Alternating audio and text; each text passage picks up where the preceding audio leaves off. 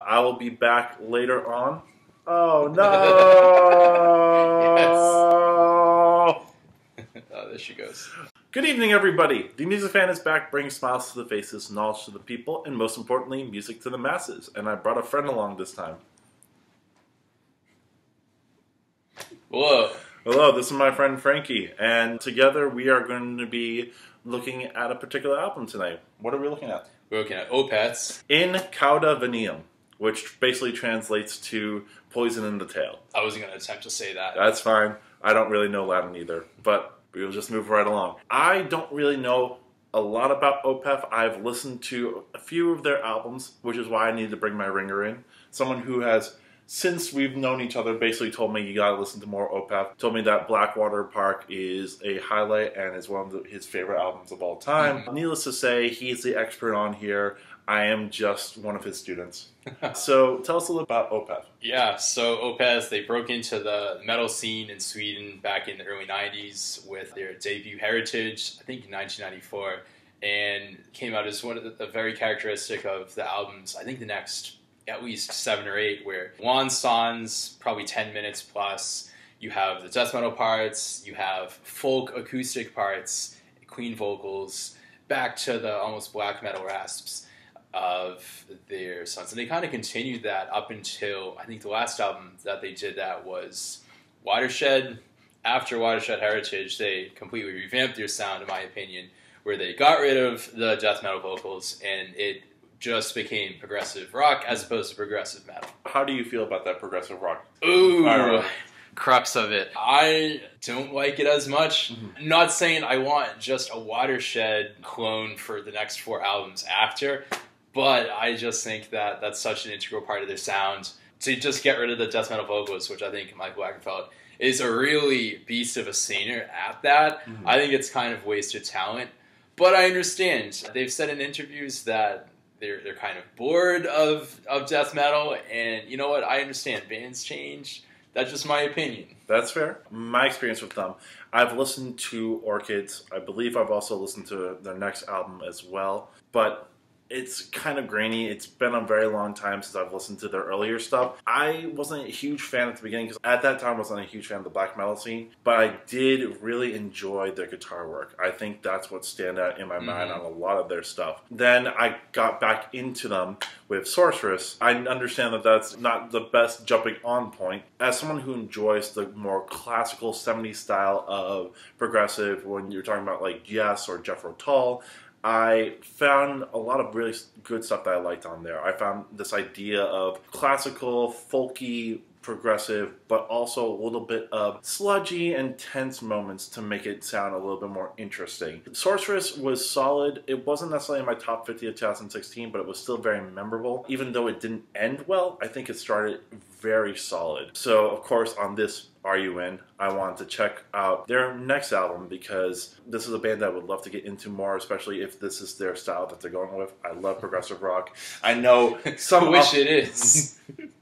I know some people are against it, but I do like this era and I would love to see what else they can do. So the cool thing about this particular album, first off, is not only is there an English version of it, there's also a Swedish version, which I find really interesting. I actually listened to both of them to see if there was any difference in sound or style. There really, really isn't. Still, listen to them anyways. We're going to dive right in. What were your first thoughts? I think that they achieved what they were setting forth. I think it's probably a little bit more heavy than Which I'm a fan of. Mhm.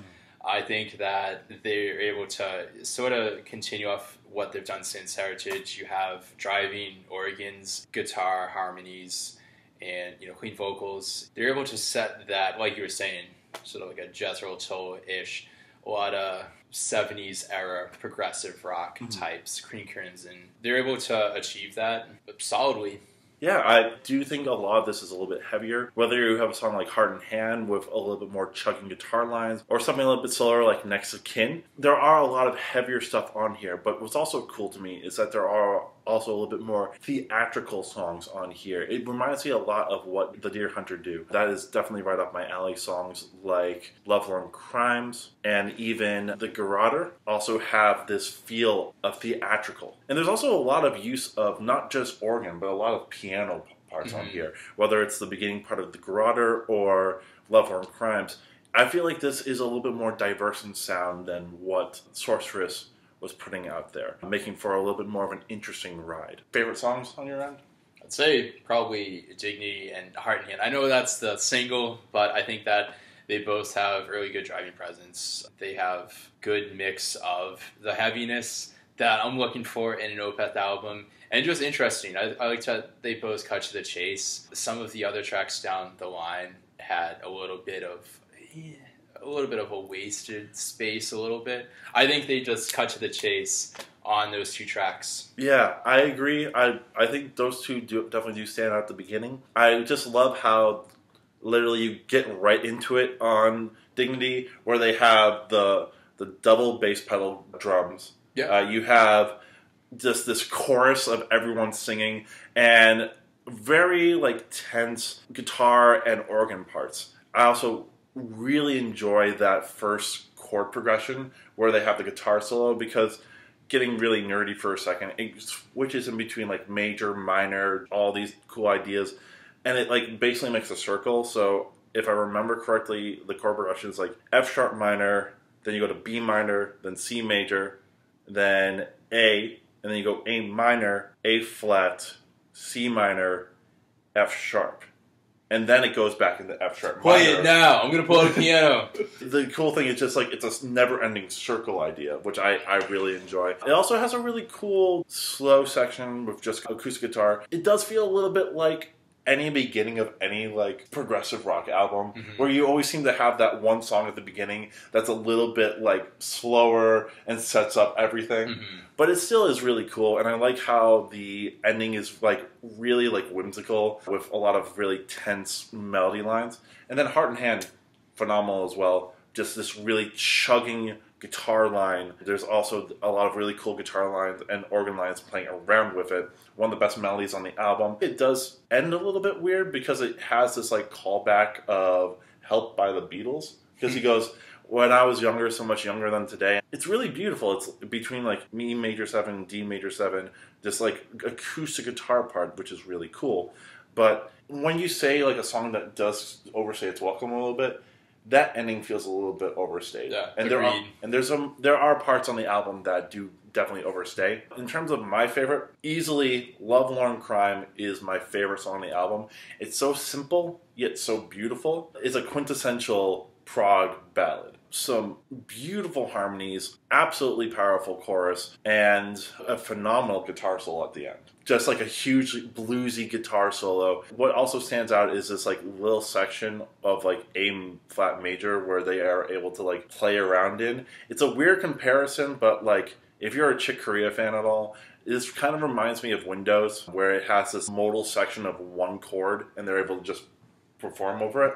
That one stands out to me. There are some songs on the end that do stand out, but we'll talk about that in a minute. Any other like positives for this album that you can think of?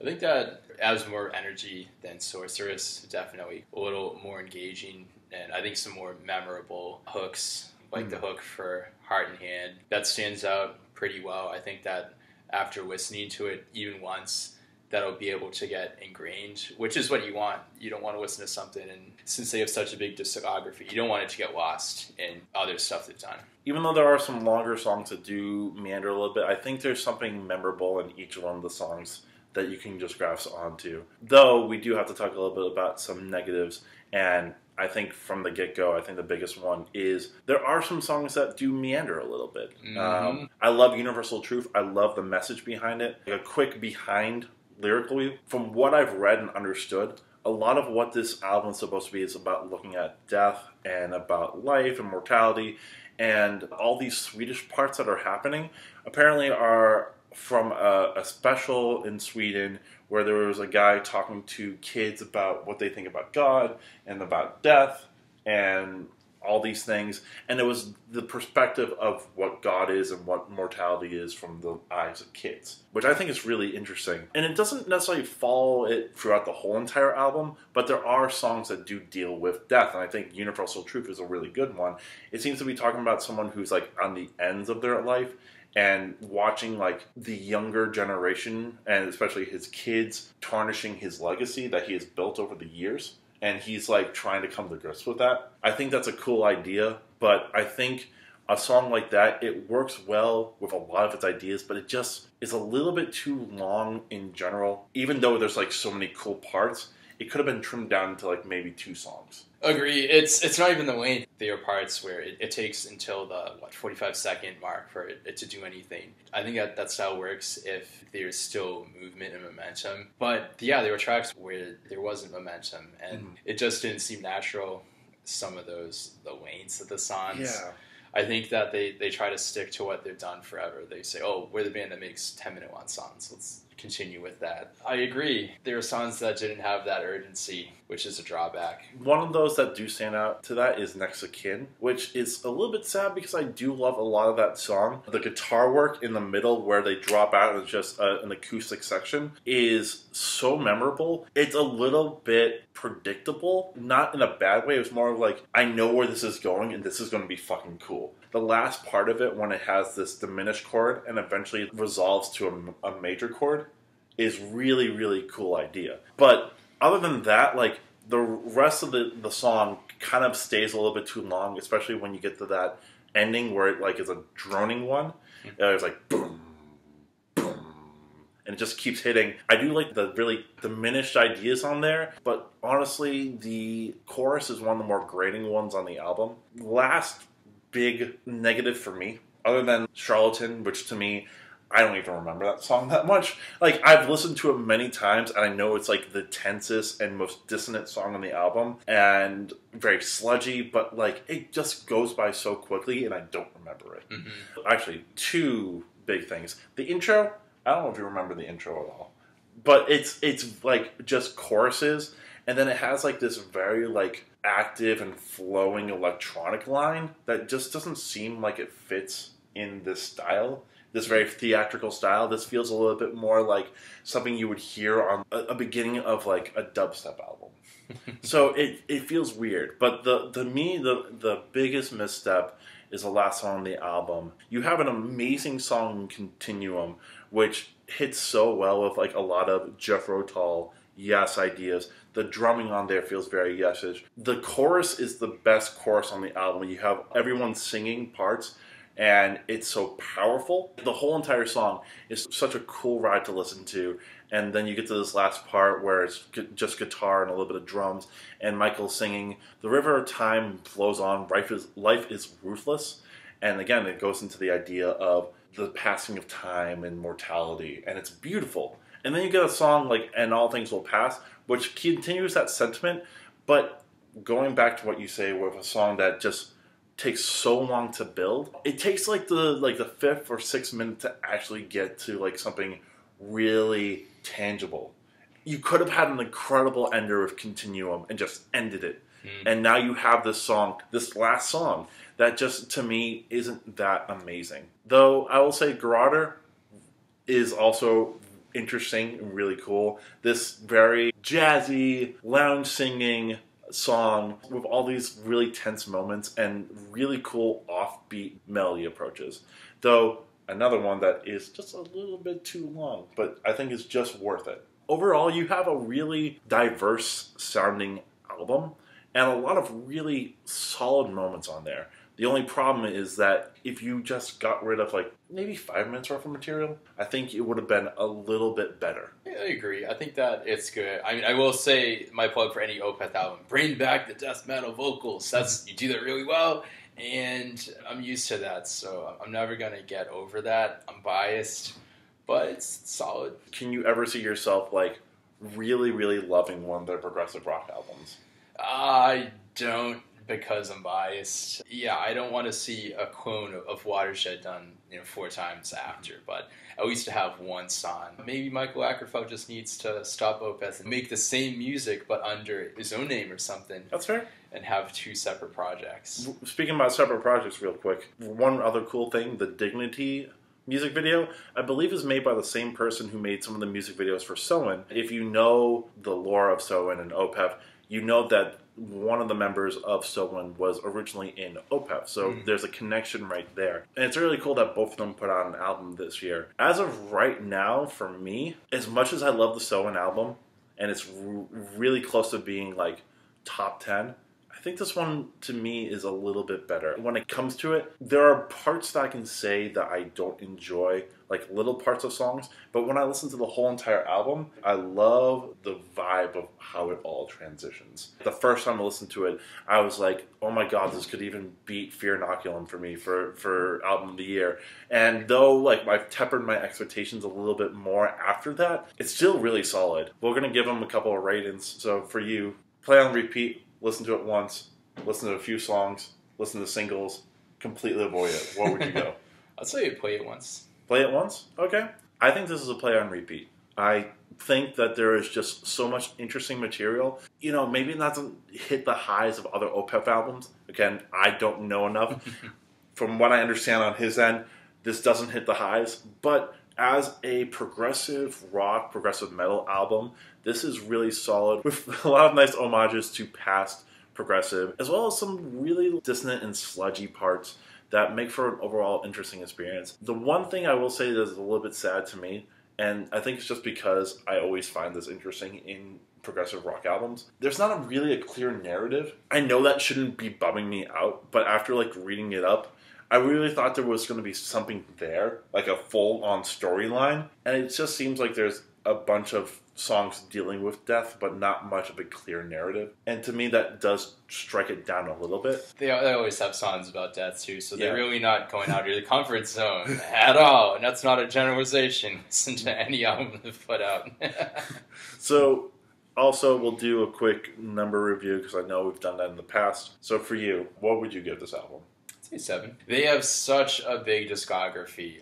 I think that, in my opinion, once you get up there with your, your 10th album, 11th, 12th, you really got to have it stand out, or else it just gets lost. Maybe if this is their, their second album, I'd rate it higher. They've been around since 1994. It's a 7. I worry asking you this question, but if you were to put this as, you know, in terms of your rankings of like your favorite Opeth albums, I'm assuming it's going to be like mid, mid, mid to lower tier. Yeah, I'd say mid low. And now I have to listen to the whole discography because I feel so different about it. I'm going to give this a solid 8.5. It has just so many interesting parts on here and so many songs that I continuously go back to. Even when I'm trying to listen to other albums, I continuously listen to Lovelorn Crime, I continuously listen to Continuum and uh, Heart in Hand. Though, to Frankie's point, also, I don't always finish all those songs. And I Mhm. think that is a little bit of a problem where if I'm listening to Heart in Hand, listening to the first five minutes, and then still seeing that there's two minutes left, don't really want to listen to them, that becomes a little bit of an issue. But there's enough material there to satisfy progressive rock fans, to, to satisfy people who love Jethro Tull, yes, all King Crimson, all these founding fathers of progressive rock. Definitely take a look. It is still one of my favorite albums of this year, and this year is shaping to be a really good year for metal. But that is our time. Thank you so much for watching. Of course, thank you so much for sitting in and uh, giving us your opinions. rant about uh, back in my day, Opeth were real metal. Rah, rah. Other than Blackwater Park, to people who haven't listened to Opeth, what albums can you recommend to them? Watershed, Ghost Reveries. Try Morningrise. I think that's your second. I think that's a, a great album. And this is on my little baby. She agrees as well. Let me know if you like or hate this album and your reasons why. Let me know other albums from 2019 that you'd like me to review, share this with your friends, and most importantly, subscribe to my channel. That way I know you enjoy what I'm doing and want to see more of this in the future. Mm-hmm. Uh, do it for her, do it for him, do it for me.